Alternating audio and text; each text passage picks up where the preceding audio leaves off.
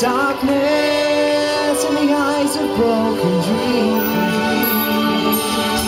Outside of the wasted and torn